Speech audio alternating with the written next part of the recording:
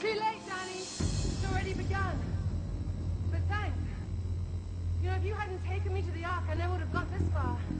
You killed them! Humanity is a stain upon the face of the planet. And when we're gone, other species will be able to develop in peace. There'll be no war, no pollution, no predators. So, you wiped out humanity. And how come I'm still here? You're really not very bright, are you, Danny? you know, I haven't finished yet. There's more to kill. But you'd be surprised how few hominids started the human race. It won't take long. Then you kill yourself as well.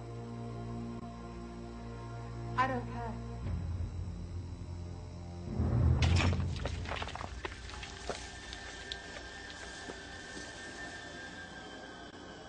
Whatever you do, humanity will find a way to evolve. You can't fight nature. You sound just like Nick. And you know what? You're both wrong. Bye, Danny.